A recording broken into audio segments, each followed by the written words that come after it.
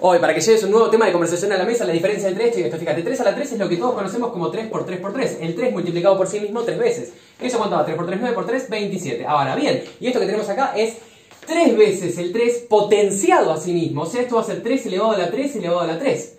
O sea, ¿cómo nos va a quedar esto? Bueno, 3 a la 3 es 27, o sea, 3 elevado a la 27. Y 3 a la 27 es aproximadamente 7.625 por 10 a la 12.